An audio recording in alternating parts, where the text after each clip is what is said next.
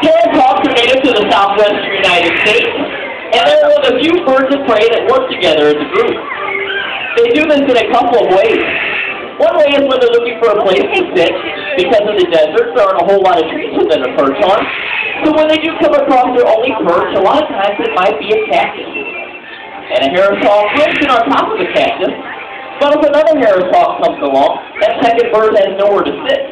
What he might do is he might ball his feet and sit right on top of the shoulders of the first bird. This is called stacking, and up to four harris hawks have been seen stacking.